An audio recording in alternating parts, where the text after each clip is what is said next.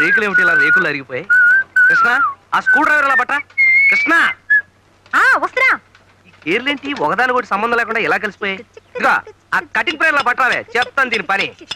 రా! అబ్బా! అయ్యో ఈ సాలిగూడు ఏంటి? ఎక్కడ ప్లేస్ లేనట్టు ఇక్కడ పెట్టేసింది ఫ్యామిలీ ఇదిగో ఆ సుత్తెలా పట్టావే చెప్తాను దెబ్బ వేస్తాను. సుత్తెక్కడదే అదే పచ్చడి బండే. పొద్దునే పెట్టాడు పెంట. ఎంత బరువు ఉందో. అవును బావా ఈ పచ్చడి బండ్లతోనూ రుబ్బురోల పత్రాలతోనూ రిపేర్లేంటి? నెక్స్ట్ మంత్ మంచి కేసు రాని టూల్స్ బాక్స్ కొంటాను. ఆ అద్ద నా బండికి ఏ గాడి క్షవరం అని. వాట్ డు యు మీన్ లేకపోతే ఏంటి ఈ బండి పెట్టుకొని? ఆ నాది బండా ఎస్ అబ్బా! దీనికి ఒరిజినల్ ఓనర్ ఎవరో తెలుసా? మహమ్మద్ అలీ. ఆ తర్వాత దాదా పాల్కే వాలా. ఆ తర్వాత కిషోర్ కుమార్. చల్తీకా నామ్ గాడి సినిమా అసలు దీంతోనే తీద్దాం అనుకున్నారు. రిచ్ అయిపోతుంది కదా అని వదిలేశారు. రిచ్ అయిపోతున్నాను కాదు. పిక్చర్ ఫ్లాప్ అయిపోతున్నాను అంత కట్టుంటారు ఈ డొక్కు బండి కొంటే అమ్మా. అద్ద నా కూడా రాదు. ఏంటే? ఉన్న పడాన లక్షా పాతిక వేలు కొంటామని కో అంటే కోటి మంది లైన్లో ఉన్నారు. ఏది? ఓసారి చూద్దాం. ఆయన ఆన్లైన్ అవును. కో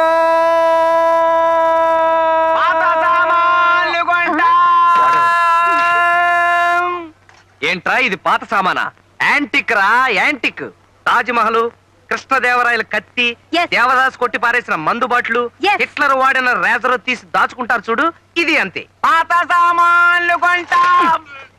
చెవి కోసిన మేకలాగా అరిగిపోయిన రికార్డు లాగా మంత్రి గారి వాగ్దానం లాగా చెప్పిందే చెప్తామే. నువ్వు మనిషి కాదు. పాత సామాన్లు కొంటాం. ఆ కొంటావు కొంటావు. నేను అసలు అమ్మితేగా?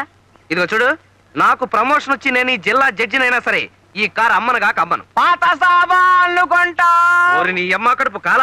నాకు ఏం నాకు శని ఉందన్నారు.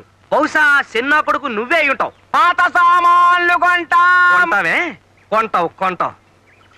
అబ్బా! ఇదేనా ప్లేటర్లు? ఇదేంటలే ప్లేటర్ బాలరాజు ఇల్లు ఇదేనా ఏంటయ్యా మంచి మర్యాద లేకుండా కొంచెం గౌరవించి మాట్లాడవయ్యా? సర్లేండి పిల్లరా. ఆ, నేనే బాలాజనయ్యా? ఆ? అవునయ్యా కావాలంటే చూడు ఇప్పుడే ఒక కేసు స్టడీ చేస్తున్నా. నాకు డౌటే బావా. ఆ? ఇంకా అనుమానమా? అయితే ఆంధ్ర యూనివర్సిటీ వాళ్ళు నాకు ప్లేటర్ అని అచ్చోసి ఇచ్చిన సర్టిఫికేట్ చూపిస్తానయ్యా. సర్లే నమ్ముతాను బాబు? ఇంతకీ కేసు ఏంటంటే నాకు అట్టి తోటం ఉమ్, అందులో రోజు ఒక అట్టికెళ్ళి మాయవుతుంది ఉమ్. అని చెదకొట్టించాను ఆడు కేసు ఎట్టాడు. నా తరపున నువ్వు కేసు బాధించి పెట్టాలయా ఓ సింతే కదా. అంటే? నువ్వు గెలిచేశాను అనుకోవయ్యా. Section five nought three nine nought four ప్రకారం. ఎవరికి తెలియకుండా ఇంకో నాలుగు సెక్షన్ కలిపి నేను గెలిపించేస్తానయ్యా. అయితే పీజీ ఇచ్చే బావా ఎందుకండి? ఏంటి బావా? ఫీజు. ఏంటి? వద్దా? ఆ. ఫీజు వద్దంటున్నావు బావా? పిలిచి పిల్లనిస్తానంటే కులం తక్కువ అన్నాడంటే నీలాంటి వాడే. సిరికి మోకాలడ్డకు నువ్వు నోరు ముయ్యవే. ఫీజు అంటే అదేమన్నా వందలు వేలు అనుకున్నావా? అల్లరి చేసే పిల్లాడికి బెల్ల ముక్క చేతిలో పెట్టినట్టు రూపాయి బిళ్ళ చేతిలో పెట్టాడు. ఎదవా? మహా మహా మటర్ కేసులకే పది రూపాయల కన్నా ఎక్కువ వెళ్ళింది నేను. గెలిచినాక ఇస్తావా ఏంటి గెలిచిన తర్వాత ఇస్తావా? అయితే కేసుకి గెలవా బావా? ఈడొకడు. కేసు గెలిచిన తర్వాత ఫీజు ఇవ్వకపోతే ఆసుగురు ప్లాస్ కృష్ణ! ఎగతాళిగా ఉందా? నేను ఫీజు కింద రూపాయి బిళ్ళలు పప్పు బెల్లాలు తీసుకుంటున్నానని మా బార్ అసోసియేషన్ వాళ్ళకి తెలిసిందంటే నా కోటు చింపేసి నా బోర్డు విరిచేసి నా సర్టిఫికెట్లన్నీ గిరగిరా తిప్పేసి గాల్లో విసిరేస్తారు. అవన్నీ పోగేసుకుని పాత సామాన్లు కొంటాం. వీడొకడు పన్ను కదిలిస్తే చాలు కొంటానికి వచ్చేస్తున్నాడు. రేయ్ నాకు క్లయింట్ దొరికాడరా. పాత సామాన్లు కొంటాం.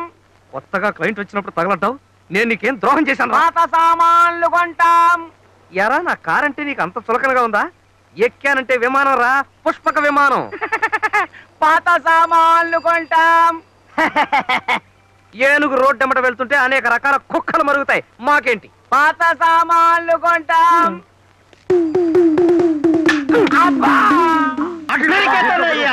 అమ్మో! రే బాలరాజు నా డబ్బు వేసేసి నన్నే కేసు ఎక్కిస్తావంట్రా? ఒక్క ఏడుతో నీ తలతగా అవతల పడకపోతే నా పేరు మాంకాడే కాదురా. చెప్పారు చంపేస్తాడేమో ఈ అరటికెలకే చొప్పుకోకుండా అడుపు తిన్న పోయేది అబ్బా! పైన తొణాకి అర్ధనాకి చీళ్ళకి జంతుకులకి కేసులు ఒప్పుకుంటే ఇలాగే అడుస్తాయి అయ్యో. గాంధీ లేదు గడిచి గుడ్డ లేదు. అవతల మాంకాలికి పూరక వచ్చింది. చా అలాగా? ఏడు ఒకసారి చూపించు దండం నరికేస్తాడంట బావా. అయ్యో పాపం ఎవరినో? ఎవరినంటే నిన్నే? నన్నా.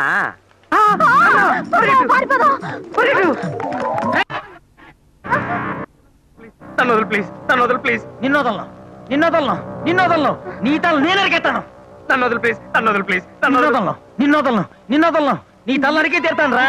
నరికేసి ఏ కీల్ కాకీలు తీసేసి కాకులు కేకట్లు వేస్తాను రా. నేనంటే ఎవరు అనుకున్నావు రా అమ్మా!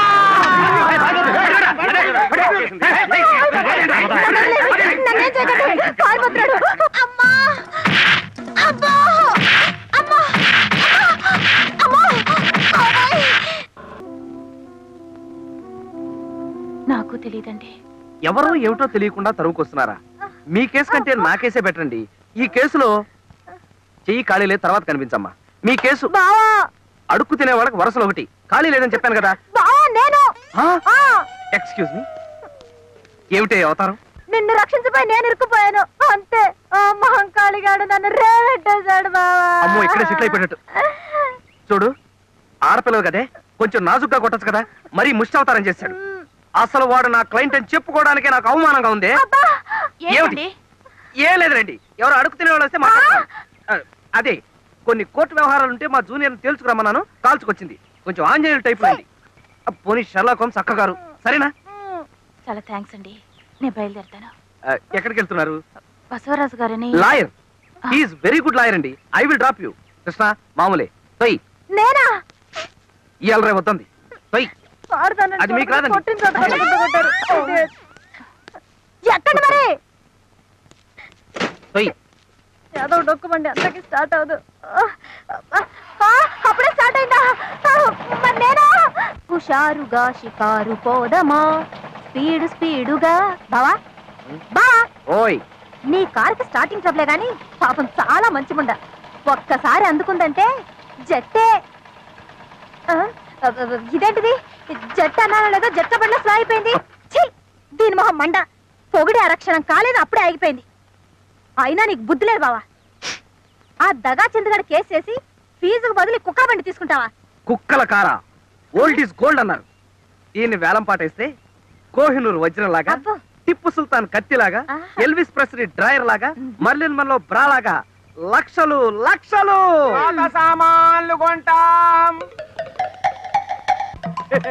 పాత సామాన్లు కొంటాం. వీడెక్కడ దాపురించాడు నా ప్రాణానికి? పిండం పెట్టే వేళ కాకులు వచ్చి వాలిపోయినట్టుగా వాలిపోతున్నాడు. బావా. బేరం కుదరకపోతే రెండు జీళ్ళు ఎక్కువ అడుగుదాం. అంతేగాని కారం కూడా మానేస్తావా? ఏమంటావు? నిన్ను? కార్లో డ్రాప్ చేయడం మాత్రం కుదరదండి. దీనికన్నా అబ్బా! రిక్షాలో వెళ్ళడం బెటర్. నోర్మి అదే లేదండి. ఒక అరగంట టైమే ఉండి విమానంలాగా తయారు చేస్తాను. విమానం లాగానా Yes. హ్మ్, గోవిందా గోవిందా! ఏమండి ఇది విమానం అయితే నేను ఎయిర్ హోస్టెస్ లాగా. యువర్ అటెన్షన్ ప్లీజ్ హైదరాబాద్ నుండి బెంగళూరు వెళ్ళే విమానం కొద్ది క్షణాల్లో కింద పడుతుంది. Krishna this is too. Much మీరు నా కేసు టేకప్ చేయాలి. కేసా? నేనా? Oh my God.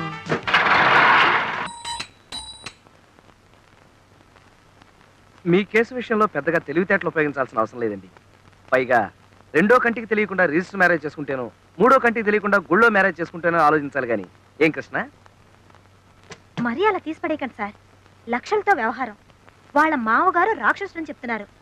పైగా మనకు ప్రత్యర్థి బసవరాజు. ఏ? బసవరాజుకి ఏమైనా కొమ్ములున్నాయా? పైగా వాళ్ళ మామగారు ఊరికే బెదిరిస్తున్నారంతే. ఏమంటారండి? మా వివాహం జరిగింది ఊళ్ళోనే తర్వాత రిజిస్టర్ కూడా చేయించాం. ఇంకే? కేసు దూది పింజరా ఎగిరిపోయిందండి.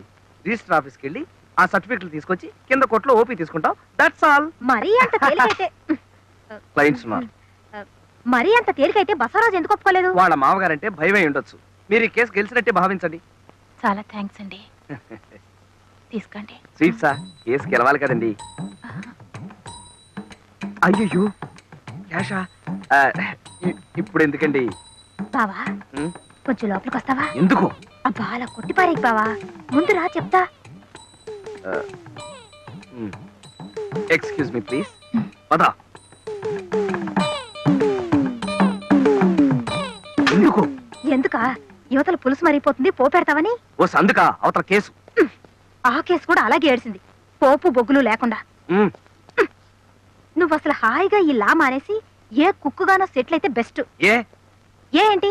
ఎవరి దగ్గర ఎంత ఫీజు గుంజాలో ఏం తెలీదు. ఏం మనిషివో? తీసుకుంటూనే ఉన్నాం కదండి ఇంత ప్యాకెట్ ఆ తీసుకుంటున్నావు ఇలాగే తీసుకుంటూ ఉండు. రేపు కేసు గెలిచిన తర్వాత ఫీజు కింద తమలపాకు బళ్ళారక్క పావలా బిళ్ళ చేతికి అందిస్తారు. ఏమిటో? నువ్వు చెప్పేది నాకేం అర్థం కావట్లేదే. నా మాట కొంచెం విను బావా. మనం గనక కేసు గెలిపించకపోతే ఆవిడ ఆస్తి మొత్తం వాళ్ళ మామగారు కొట్టేస్తాడు. అలాంటి ఆస్తిని మనం అడ్డం కొట్టి ఆవిడకి అప్పగిస్తున్నాం. అందులో కొంత పర్సెంట్ అడుగుదాం. నా ఎస్టిమేషన్ ప్రకారం అధమా పక్ష సుజాత గారి ఆస్తి కోటి రూపాయలు ఉంటుంది. అందులో ఓ టూ పర్సెంట్ అడుగుదాం. టూ పర్సెంట్ అంటే ఓ ట్వంటీ రూపీస్? వెర్రి మొహమా? రెండు లక్షలు. రెండు లక్షలు.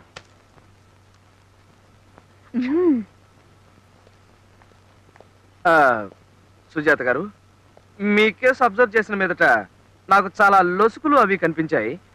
అరే ఇందా కలిగించాను అప్పుడే ఆరిపోయింది. ఆ, లోపల డిస్కషన్ చేసిన మీదట మీ కేసు ఎంత ప్రమాదకరమైందో తేలింది. ఉదాహరణకి గుమ్మడికాయ పులుసులో కొత్తిమీర ఉల్లిపాయలు ఆ, ఓ సారీ. మీ కేసు నేను ఎంతో రిస్క్ తీసుకుని ప్రాణాలకి తెగించి మరీ వాదిస్తాను. కానీ నా ఫీజు.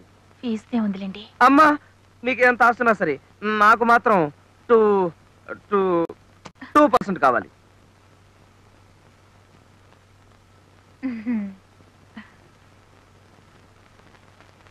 అలాగే.